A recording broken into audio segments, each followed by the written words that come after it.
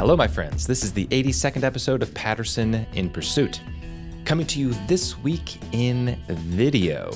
If you're watching this on YouTube, hello. If you're listening to this on the podcast and you'd like to see my face talk and a little square on the screen, head over to youtube.com slash Steve Patterson for a very special episode because not doing a breakdown of one of the interviews that I have conducted, doing a breakdown of somebody else's interview for the first time. And I'm hoping if this go if this goes well and you guys enjoy it, this can be a regular thing. There's so much content online that could use some good critical commentary, some good philosophic commentary, and so why not? The appropriate place to begin a new series is with the best philosophic series of all time. It's not Patterson in Pursuit. Patterson in Pursuit is number two. The best philosophic series of all time is a series called Closer to Truth. It's a PBS series. If you guys haven't heard of it, I talk about it all the time. Um, it's uh, there's a guy named Robert Lawrence Kuhn who goes around the world interviewing intellectuals about really interesting, really important ideas. He takes kind of a skeptical approach. It was largely the inspiration for this show. I loved that show so much that I thought, man, I want to do something similar. So, as I have stopped my travels around the world, I'm going to try to do more video interview content, and this is a great place to start. Plus, you guys can send me um, clips, you know, philosophic clips of uh, commentary, whether it's philosophy or politics, economics, whatever. And if it works, you know, I'll do some uh, some real time commentary. So, this interview is of David Chalmers, who's a philosopher at NYU. He's known for being a dualist uh, he's got some pretty good ideas. He's the guy that coined the term the hard problem of consciousness, which is a term that gets thrown around all the time. And we're talking this week, the title of the video is called Are There Things Not Material? So we're talking about metaphysics and ontology. What types of things are there in the world, if anything? Here we go. Dave, in trying to discern reality, which is uh, either an obsession or a compulsion of mine, I'm not sure which.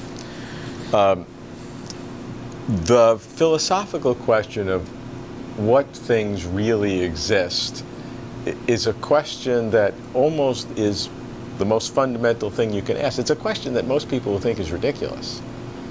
But how do you look upon that? As you look upon your world and as you've envisioned it, what, what things really exist?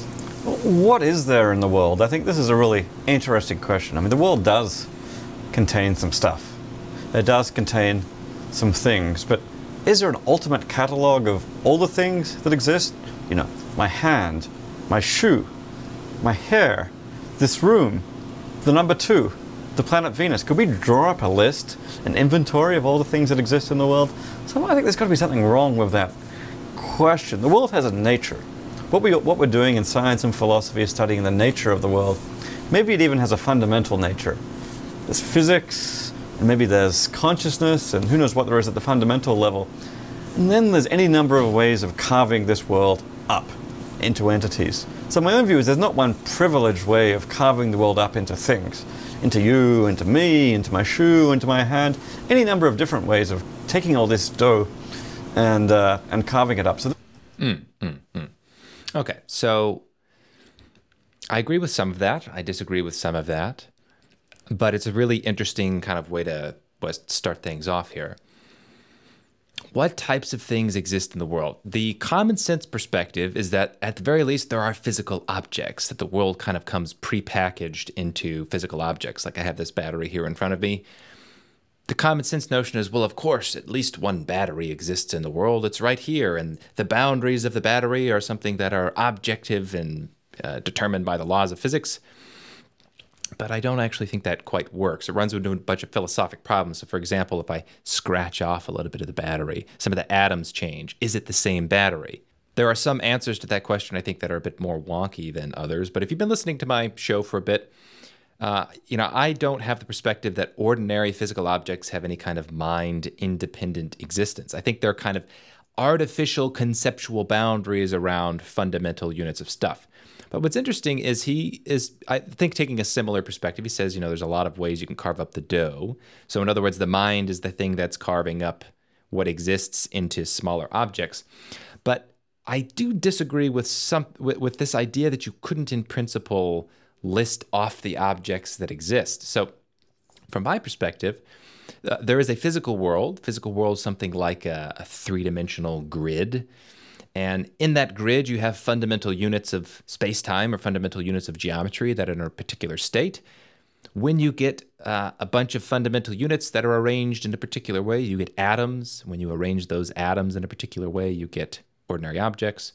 So, what fundamentally exists is the units of matter in a particular state. And if that's true, then you could, in principle, list off all of the independently existing physical phenomena in the world, right? You could have a list of, uh, think about it like a, a massive Sudoku puzzle, right? Like a three dimensional Sudoku puzzle. And in each unit of physical existence, you have something in a particular state.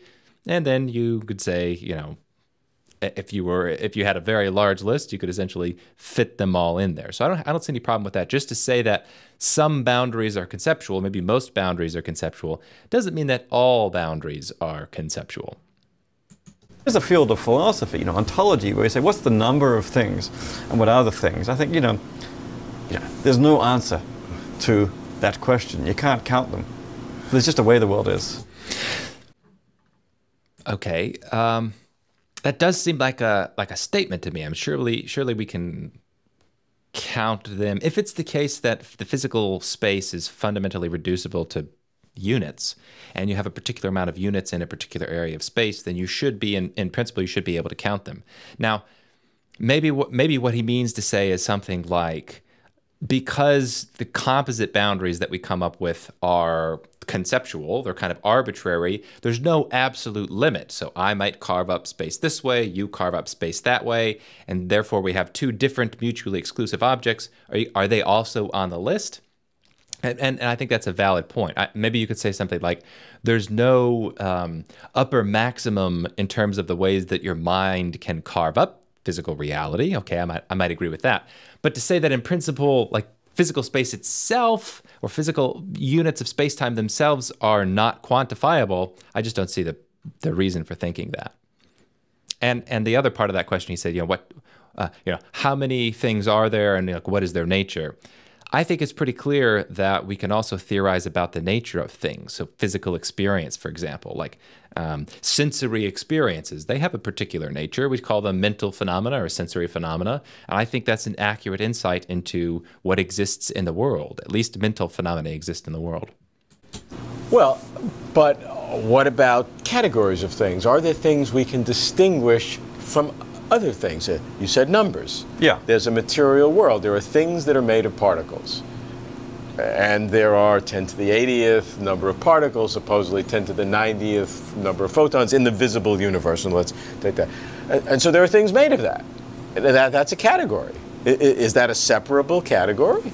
I think you can introduce all the categories you like. You know, if you want to talk about numbers, you can. If you want to talk about people, you can. You want to talk about sentences, you can. You want to talk about unicorns, or maybe you can't. So maybe there are some rules. But within reason, you know, you can define up all the entities you like, and within a framework. Mm, interesting phrase. You can define up all the entities that you like. So in other words you know all these different ontological categories are created and constructed by the mind that the, the dough is out there and we're the ones carving it up. This is a this is an idea that goes back you know to the ancient greeks. I did a video a couple of months ago or maybe a long time ago now if i think about it called unifying the plural into the simple. And there's a like i said there's an old idea which is that all in the universe is one just dough and the mind uh, makes the divisions between things. We kind of we uh, define them into existence. But there's not a perspective, which is my perspective, that I've seen anywhere, even in the in the ancient Greece, uh, Greeks, and it's kind of the opposite. It's to say that the world doesn't come as one; the world comes up as many, as plurality. Or if we're talking about physical phenomena, the world comes in, you know, just an incomprehensible amount of base units they when we treat the, the, the fundamentals as composite, that's where our mind is kind of bringing new entities into existence. So, for example, going back to the battery, what I'm saying, what really exists in the world is objectively a bunch of fundamental units that make this battery. But what brings the battery itself into existence is my mind, right? So that's just a, uh, the battery is a way of referencing a bunch of fundamental units. So this is why I call unifying the plural into the simple. What exists is plurality, and our minds are the things that say, oh, we're going to unify this into one object. An example that I've also given is um, constellations. So if you think about what is the metaphysical status of constellations in the sky, well, you have the individual stars, and then do you have constellations that exist in addition to the stars, or is it just the stars that exist if you treat the stars as kind of fundamental units? And I'd say, well, what actually exists are just stars, and your mind is playing connect the dots with the stars. You're carving up some particular area of space, saying, ah, that is Orion. Without your mind, Orion wouldn't exist, but the stars would still exist. So, if that's true, if that perspective is true, then what is fundamental is plurality, and we're the things that are unifying all of the little bits of dope, sticking it into one thing. Within a given conceptual framework for talking about things, you can say, sure, I acknowledge those things. But now the philosopher, like the mathematician, sure, there are numbers. Now the philosopher steps back and says, but are there really numbers? Do they really exist? Now, what are they asking here? And saying, you know, well, sure, the mathematician says there are four prime numbers less than 10. so there are numbers. But now the philosopher says, do those numbers really exist? You know, up in the Platonic third realm, are they entities? Somehow that's the wrong question, you know. So I love the example because you know I've got a lot of thoughts about the philosophy of math. That's actually a, it's a really good example because I don't know if David Chalmers knows this. Probably not because this is not his area of study. But depending on your metaphysical conception of mathematics, you get different mathematical structures. So whether or not what a number is is a Platonic object will yield different actual mathematical structures than whether or not uh, a number is a is a mind dependent conceptual unit. To be specific, if it's the case that numbers are conceptual constructions and don't exist separate of our minds, then you don't get anything like actualized infinities or completed infinities. You can't have an infinite totality. That doesn't make any sense. If the if what numbers are is a construction, you can't complete an infinite series in your mind. You can't conceptualize all of an infinite anything if you don't get infinite sets, then you don't get, well, quite a number of conclusions of modern math. You certainly don't get different sizes of infinite, infinite sets, which is something that is a standard part of math. So uh, the only way that you can even try to rescue the concept of something like uh, completed infinities would be to say, oh, numbers exist out there in the Platonic realm. So I don't know if I, I, so I guess that's where I would also disagree with um, Chalmers here is that I think it's a really important question to ask, even for the sake of the mathematics. What what is the metaphysical what is the metaphysical status of numbers? You can do mathematics. You can say there are four prime numbers less than ten, yeah. without needing to bring in this further realm of the entities that exist, absolutely and mind. Except when you're talking about infinity. Independently. But but you can define things that are made of particles. That that's uh, that's a, a, category. Yeah, I think actually the fundamental level. I mean, the place I take these questions most seriously is at the fundamental level in say in physics. You know, it defines certain entities, some particles that you need for physics. Maybe those things exist fundamentally. Anything above that, I think it's you know, that's kind of that's bookkeeping. You know, what is it that uh, was it Lord Kelvin who said that there's physics and then there's stamp collecting. you know, there's like there's physics, then there's different ways of carving it up. Mm, so that sounds very similar to what I was saying earlier. That at the very least, maybe you have the fundamental entities, but he says there's the rest is bookkeeping. That's a good quote. I think you're getting it. It's taxonomy, is the way that I would put it. Fundamental reality in doing that. Now, in my view, maybe there's physics, there's consciousness. Well, that's important. And there's stamp collecting. Because, because now yeah. you've made suddenly two big categories. Yeah. And so, you know, you're because you're involved in consciousness and have done some wonderful work there, that's important to you. So therefore, you have two categories. So maybe somebody else has done something else in prime numbers or, or abstract objects, and they think their category is, some, is the most important. And consciousness, they don't particularly yeah, no care big deal. I think you know we really need to care about the fundamental level. Hmm. That's a really good uh, point, and I got a couple thoughts on the topic. So this is also, by the way, why I really like David Chalmers, because I think he's correct in saying that consciousness is fundamental, which is one of the things that he's known for. Um, yeah, okay, a couple of things on that topic. So, one is the status of categories. Is it the case that in the world there exist multiple types of things? I don't think that's a. I think that's a way that our mind works. Our mind puts little conceptual categories. We say this is a, of a type, this is of another type, but in general, I don't think there are many objective taxonomic distinctions in the world. I think most of it is bookkeeping. However, that's not necessarily true. There might be uh, a handful of ontological categorical distinctions between things. Specifically, when we're talking about conscious phenomena and physical phenomena. So I think Chalmers is right here, and you know, um, Kuhn is trying to kind of box him in and say, "Oh, hey, you're only saying that you think consciousness is fundamental because you work in consciousness. That's a reasonable objection, but I think actually Chalmers is right here that consciousness is, if anything, is fundamental from our perspectives. It must be consciousness." That's this conversation I had with uh, uh, uh, Dr. Kastrup not that long ago he, he got it. I've had a couple more conversations where people get this idea very clearly that physical phenomena is a different category of, uh, from mental phenomena. Physical phenomena is a theorized abstract world that we come up with to try to explain the mental phenomena and the conscious phenomena that we experience. So if it's the case that any theory about the world, any ontology of the world says that the only things that are real are physical phenomena, and there's no such thing as mental phenomena as we describe them, there's no subjective first person experience, that theory is necessarily certainly wrong because it misses the essence of what physical phenomena are, which is theoretical entities or theoretical objects that are designed to explain the phenomena we experience. So, consciousness, if anything is fundamental, if any category is objective, it is conscious phenomena. Things that uh, feelings, sensory experiences, thoughts are, are, are in, the internal movie that's being played. That is the thing that we can know exists. Of reality, yeah. the fundamental right, natural properties in the world. And I think, you know, we need properties of things to have. They have physical properties, they have consciousness properties, and so on. I'm not sure the entities, though, is the right way to think about it. The world is a giant bunch of stuff. It's a giant flux of process in a big universe. I'm not sure that it actually comes carved into, uh, into entities. And if it does, they're the entities at the fundamental level, like the particles, maybe some minds. I like that, right? Par particles and minds. I mean, I agree with that. But I, to say that the, the universe comes as a bunch of stuff mm, depends on what you mean by a bunch of stuff. That means two things. Uh, you could say that the universe comes as a plurality, and that's what he means. The universe is a bunch of different phenomena out there. That's just how it comes, and we carve it up into entities.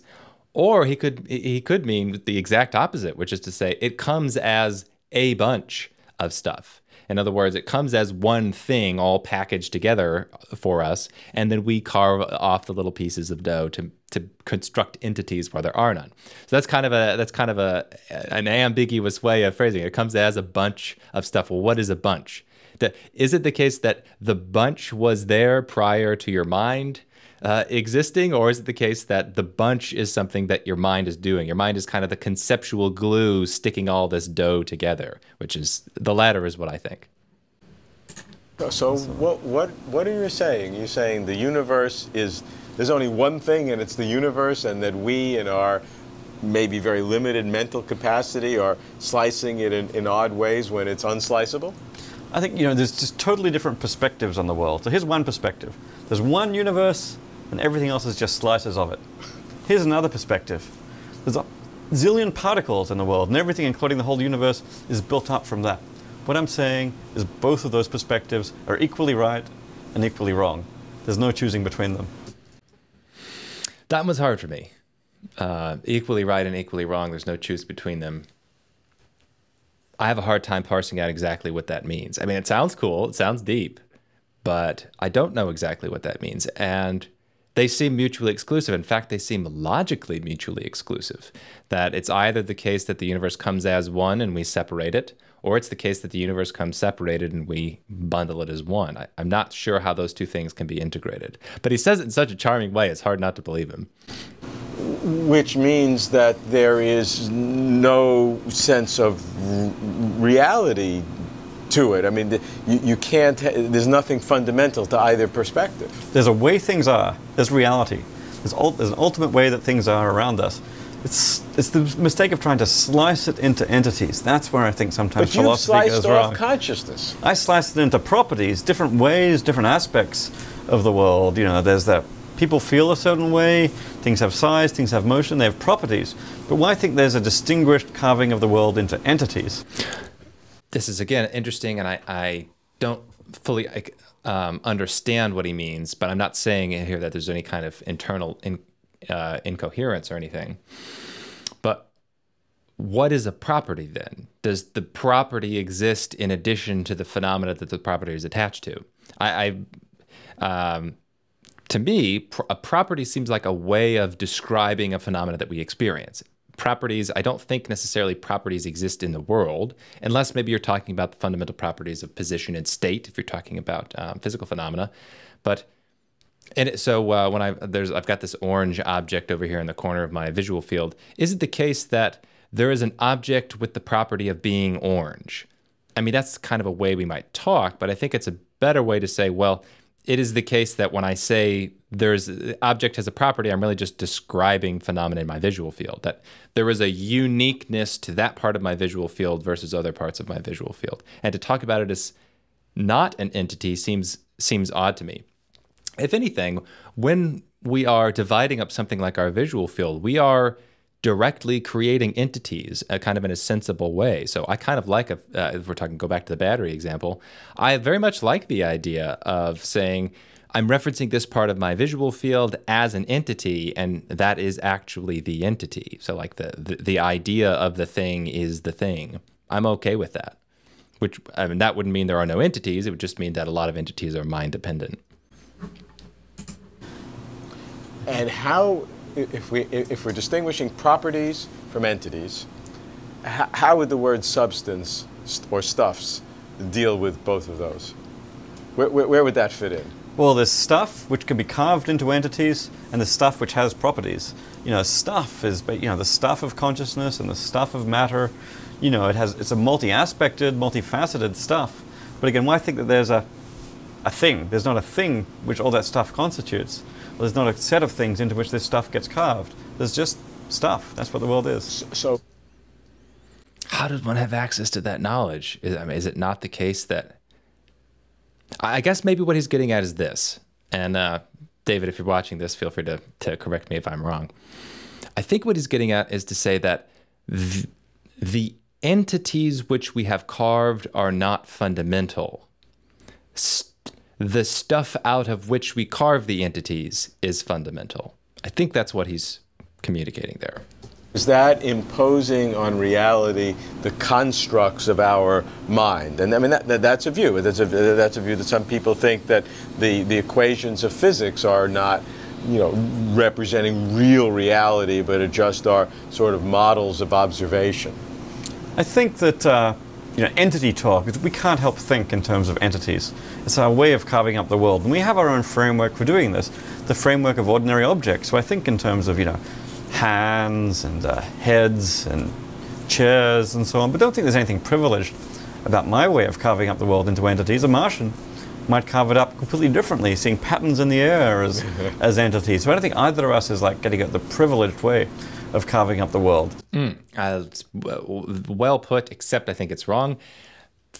With because there's one exception, which is the individual who carves up the world at the fundamental level. So if you've got the um, the aliens, I think it's a, an excellent way to put it that uh, other conceptual schemes might divide the world up differently. So the distinction between the you know the, the hand and the forearm. Well, is there you know, the human distinction might be the objectively it might not be the objectively correct one. It's just kind of a human convention. Some Martian might see this whole thing as one object. Uh, that's a good example, but there is one objectively correct position, which is to say, if some critter had access to the position and state of every single fundamental physical unit that and had some kind of way of representing that, and that's what they meant by their terms, that would actually be the correct way of describing the phenomena, that, the physical phenomena that exists.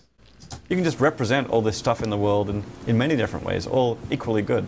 Is the question a useful one? I'm not certain it is. It's interesting to think about for a, for a philosopher. We're interested in science and finding how the world is. But one thing we do find is there's multiple equivalently good descriptions of the world. And I think this question of how to carve the world up into entities may just be one of finding multiple descriptions of the world that are equally good. One thing, a thousand things, a million things. As long as it all describes the world, they're all equally good. Hmm. By what metric are they equally good? Not, are they all equally true or are they all equally practical? So um, there are all kinds of worldviews out there which carve up the world differently. They say different types of things exist, and they derive different, let's say, ethical theories from their belief in the, the existence of different types of objects. I wouldn't say they're all equally true. They're all equally, you know, practical for living your daily life. They give you a kind of structure and a perspective on which to navigate the world. That doesn't mean they're necessarily true. Um, yeah. The reason why I have sensed that this question is important, even if you're right, and you may be, is that it, in, it, it, it, it may enable us to see things that we haven't seen before, to, to, to visualize the sense of reality in a different way than what we're commonly hmm. perceived to do. So, for example, I, I don't know. I can't. I can't make progress beyond that. But I'm saying that to, to deal with this kind of question may enable us to, to see that that, that there, there's something. If, if physical reality is one thing, if abstract objects are something else, if, if consciousness is, is a third thing, that it's not an abstract object, that it's not part of the material world, maybe that's another thing. Maybe there's a spiritual world where gods live and angels and demons. I, I, yeah, I mean, people think that, so I, I, at least I got to address it. So now, now I can I can conceptualize four or five different big categories. Now maybe this whole thing is nonsense. multiple aspects of reality. I think it's a good way to think about it. Yeah, there's the physical aspect and the mental aspect, and perhaps the you know the abstract, the mathematical aspect, and then we can ask how do all these aspects of reality relate to each other? Which is the most fundamental? Which is derivative? And I think that's a fine task for say a metaphysician, Right. organizing the categories of reality to engage in. I mean, Aristotle thought there were four, right? Was it earth and air and fire and water? And uh, you know, maybe maybe a, a modern physicalist thinks there's one. It's all just it's all Right, just right. atoms. Right, right, You know, I think that's a really fascinating question to ask. What are the fundamental aspects of reality? I'm not just I'm just not sure we need to divide the world into things to do that. So that's the interview. Great, excellent 10 minutes. But I, on that point, I also disagree. I mean, I, I like what um, Robert was saying that depending on your perspective of what types of things exist, you can draw very different conclusions about uh, how to live your life in the world. They both mentioned um, spiritual uh, spirituality. Is it the case that there are angels and demons? Is it the case that there could be such an entity that is not corporal but exists and is monitoring your life? And if you do things a way that he doesn't like, he's going to uh, punish you for eternity? seems like a pretty big question.